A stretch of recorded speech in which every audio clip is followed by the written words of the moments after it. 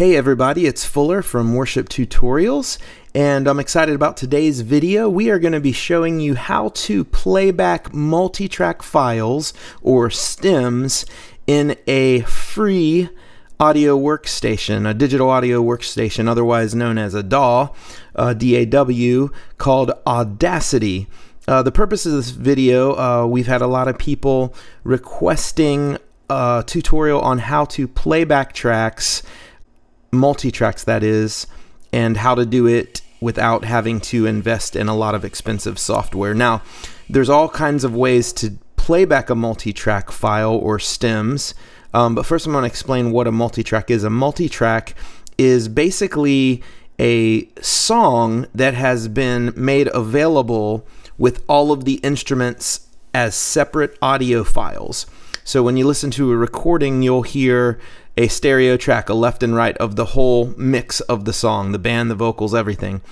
A multi track actually makes available all of the instruments on separate tracks so they can be isolated. For example, you'll have a drum track, a bass track, a guitar track, vocals, uh, synths, pads, piano, you name it, it'll be on there.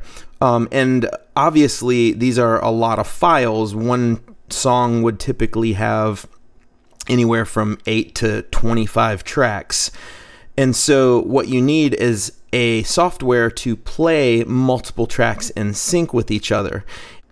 There are a lot of different types of DAWs out there. You've probably heard of Pro Tools, Digital Performer, Logic, Ableton Live, you name it. Um, there's something for everybody out there. However, some of those are pretty expensive. So what we are, what we're going to do today is we're going to show you how to use multi-tracks with a free DAW called Audacity. So what you're going to need is two things to successfully use multi-tracks. One, you're going to need the multi-track files. You can get these from various sources on the on the internet. You can purchase uh, multi-track files from Worship Tutorials as we continue to build our library. Um, either way, you need the multi-track file and then you need a software to play it back. So today we're going to use a piece of software called Audacity. And so what you're going to want to do if you don't have it already, you're going to open up a web browser and you're going to go to audacityteam.org and you are going to download Audacity. Uh, if you got Windows or Mac, uh, or if you're using Linux for some reason, um, they have three available. This is a completely free software. So you'll click on that link and then you'll download the one you need and install that. I'm not going to go into all of that. Um, you can, I'm sure, figure out how to install that on your computer. Once you have that installed on your computer, the next thing you need to do is you need to go to Worship Tutorials and you need to log into your account after you've purchased a multi-track. And I've logged in. You click my account and it's going to show you your files that are available. You can see here I've purchased Alive and Good Good Father. Now you see a lot of different ones. These are one for each of the 12 keys um, which is awesome about worship tutorials. Multi-tracks they come in all 12 keys. So what we're going to do today is we're going to do uh, the Good Good Father by Chris Tomlin in the key of G. So you click on that file and that is a zip file. You'll see here you're gonna save that and that's gonna save. You'll see up here it's downloading. And uh, and then what you'll do is close out your browser. After that's done downloading and then I have already downloaded it. So what I've done is I've made a folder on my desktop called Worship Tutorials Multitracks. Inside this is where you want to put that file you just downloaded. So here it is, G goodgoodfather.zip. That's a zip file. First thing you're going to want to do is double click that and you should have an archive utility installed. If you if you don't, the computer will probably ask you to do that. Um, then it's going to spawn a folder here. Inside this folder is what we call the stems. There are, I believe, 18, yeah, 18 tracks or stems. Each one of these is a separate audio file. And so what our goal is, is to import all of these into the software called Audacity and play them all back together. And once we do that, we can mix and match and do all kinds of cool things. So let's get started. Um, we are going to open Audacity, which I've already installed on my computer and little screens pop up just hit ok. So as you see right now this window right here is completely empty. So there is no music. Now I will say this for a free program Audacity does a lot of cool stuff. You really can't complain when you haven't paid a penny for it. Um, it is limited but it's gonna do what we need it to do. I'm not gonna really explore much about this program other than how to import the tracks and play them back, um, make separate mixes for your band or whatever you want to do. Um, so first thing we're going to do, go to File, Import, Audio. And it's going to open up your directory. You're going to click on wherever that folder is that you made with your tracks. So worship tutorial multi-tracks, good, good father. Don't click on the zip file, that won't do anything. You want to click on the folder, and then what we're going to do, we're going to expand this so we can see everything. I'm going to select all of these bad boys and hit open. What's this? What this is going to do? It's going to import all of these files into this play window. You can see up here as it's importing, this zero is the beginning of the song. The song is going to play left to right. And as you can see, these numbers right here are timestamps. This is a minute, minute 15, minute 30, minute 45, etc. to the end of the song. Now you see these tracks loading as they are read, um, uh, which is really cool. And you'll see that they are going to line up from left to right. You'll see as various instruments come in. This is called a wave file here. So um, you've got the top and the bottom, which is a left and a right signal. These are mostly stereo tracks. And uh, once this is done loaded, we are going to uh, show you how to play it back. Uh, it'll take a few seconds to import these files.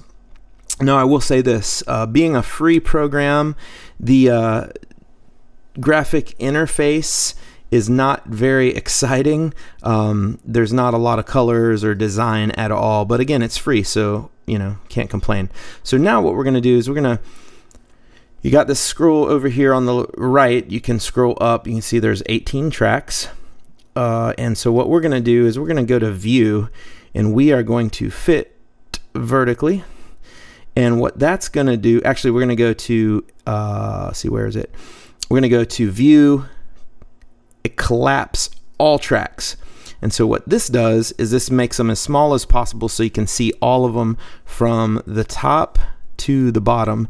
And then we're also going to zoom out uh, horizontally as well. So you'll see where these lines are. Anywhere there's blue is a wave that's actually playing. Anywhere there's just a flat line, that's just blank audio space. But obviously, um, you need that so that all the files keep in sync. Um, you'll see here too, right here, right, right around 5 minutes and 15 seconds, the song ends. Then everything past this is just dead space. Now, Another thing you're going to want to do before you start playing back. So right now we're looking at the the wave files, uh, and then the uh, Audacity, as it imported it, it did keep the names. You'll see that's uh, Good Good Father GB3. Now, what you can do, you can go here and you can delete these and clean the names up a little bit, uh, which I'm actually going to do uh, just to keep it uh, nice and simple. And you can see the names are being shortened here. Uh, it'll be easier to navigate, trust me, once you do this. So let me do this real quick.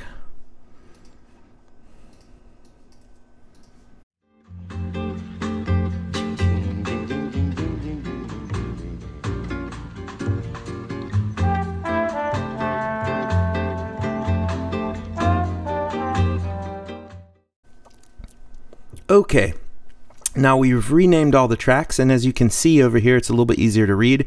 You got the B3, the piano track, the acoustic guitar high, the acoustic guitar main stem, bass, BGVs, electric guitar 1, 2, 3, and 4.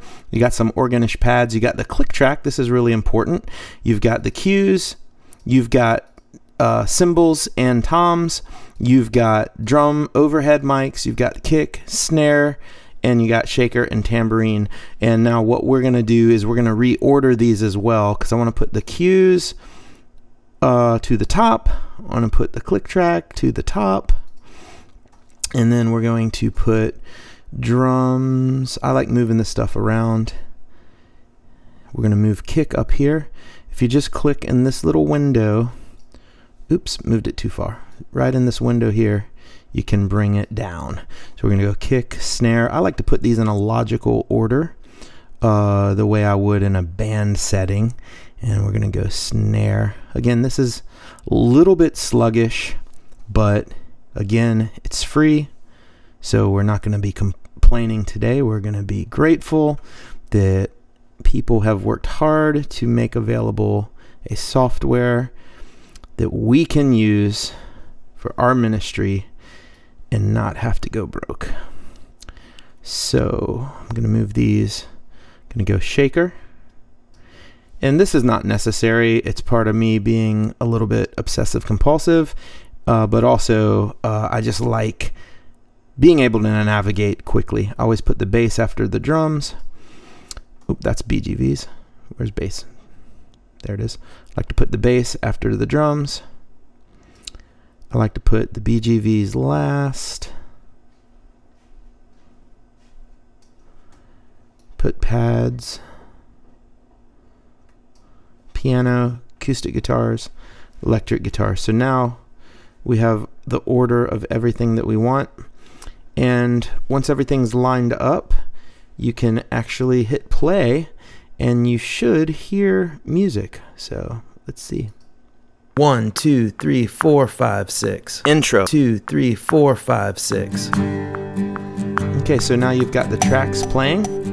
Everything's in perfect sync. Verse. Two, three, four, five, six. Okay, and you can jump later four, into the five, song. Six. Now I want to show you a trick here too as well. You can go to view mixer board and then this is where you're going to go to um, mix and adjust the sound levels. So here is the waves, what's being played, but here is the level or the volume that they're being played out. And one cool thing about Audacity is when you import the files, uh, the way they're named, if you you can see here that they actually import images, which actually is kind of a huge help um, when you're bouncing around, uh, navigating. You can see all the guitars here and stuff. Um, and so what you can do here, this is really cool. Um, you can pan things, and uh, so let's go to uh, let's hit play. Go back to the mixer board. Oh, we're at the end. Sorry about that. Let's go to here, and we're playing here. Course. Go to the mixer board. Six.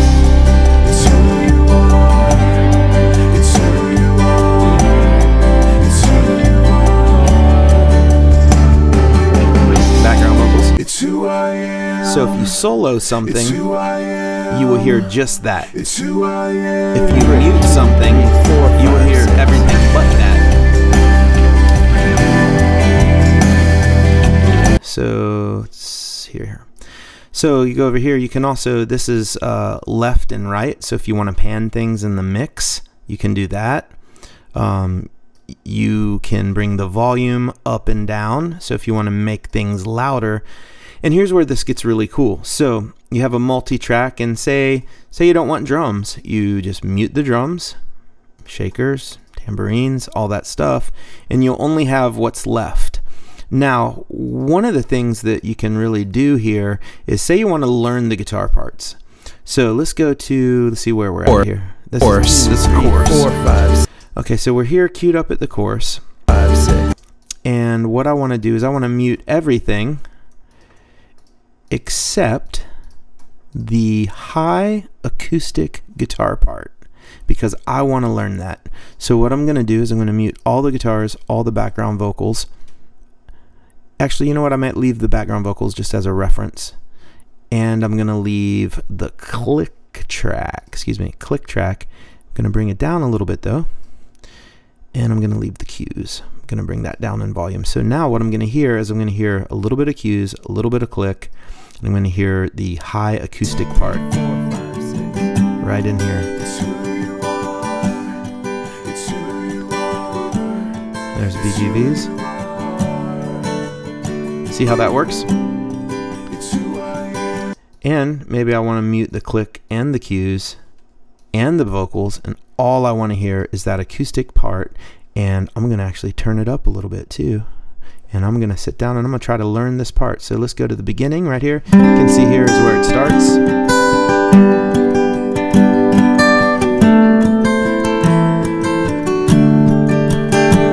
So I might want one of my guitar, uh, guitar players in the band to learn that part, um, and you, I can tell by listening to it uh, that it was uh, an acoustic guitar recorded with a capo up high, playing different chord voicings to give it a little bit of color, as opposed to the regular acoustic part, which is here. So we'll mute that and just have the uh, solo the regular acoustic, and it'll go here.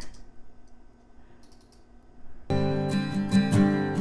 that's the regular original acoustic part. Again, you can pan it left, pan it right, whatever you want to do. So as you can see, this gives you complete freedom and control over these tracks, which is really neat. Um, and one thing, let me show you one more little trick before I go, um, which is super helpful. Um, I find it very cool. So you get the multi-track maybe you want your electric guitar player to learn just that one lead part. So let's uh, go here and uh, I'm gonna isolate this uh, track here. So we're gonna find that track go to the electrics. And we're gonna unmute these. And what we're gonna do is we're gonna isolate one of those to learn. So let's go to the course. There it is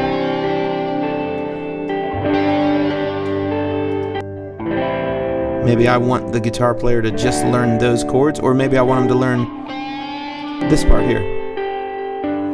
That's a really cool part. Let's turn this up.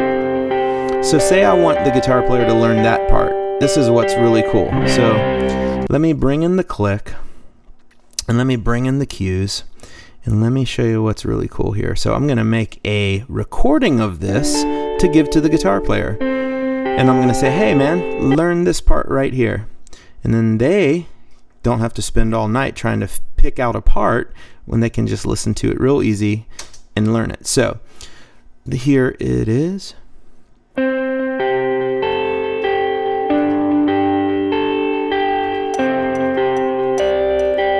So we're soloing that. Now, let's bounce that. So bouncing basically means you're going to take whatever's playing and make it into its own file. So I'm going to pick it up right, I'm going to select, I'm going to grab the select tool, and I'm going to highlight to the end of that. Once I do that, remember all these other tracks are muted because they're grayed out. When you mute them, they gray out. So now I'm going to go to File, Export Selected Audio. I'm going to go back to my multi-tracks folder, Good Good Father. I'm going to make a new folder called Band Mix. Okay, because I'm going to give these to my band gonna create that folder and then under band mix I'm gonna call this mix that I've got here um, electric guitar one parts and click only. Then I'm gonna hit down here I'm gonna choose mp3 you can choose any sort of format you want. Now if you do choose mp3 it's probably gonna ask you to download a um, a plugin which is free also um, that'll take a few minutes I've already got that on my computer so Right now you see it's bouncing and um, here it goes and it does it pretty quick actually. So boom, we're done. So we're going to save this file and I'm going to close this out. So we're just going to go back here and save this as master. Okay, and now what we're going to do is we're going to go back to the folder. We're going to open it up, Good Good Father, and open my folder band mix and there it is. That's the song that we just recorded with just the parts and let's just listen to a second of that. Got click. Course two three four five six. And there it is. So now your guitar player can just learn this part and uh, save you a lot of time at rehearsal save him some headache or her and then uh, when you guys get together it'll sound just like the album so there's a lot of a lot of advantages to using multi-tracks. You know, they're obvious. Uh, obviously, you can use them in worship to accentuate the band uh, or to cover musicians that aren't available. Uh, there's also the opportunity to break down the song in its parts and learn them and then also the opportunity to create mixes for your band members and have them learn the parts. So it's a really great thing. So that's it for today for this tutorial on how to use multitracks in a free digital audio workstation called Audacity. We're going to be doing more tutorials on how to use multitracks in the other DAWs such as Pro Tools, Digital Performer, Logic, Ableton Live, all those things. So, hope you have enjoyed this, and I hope this is helpful to your ministry, and I hope that God uses it to enhance your worship experience. Have a great one. Peace.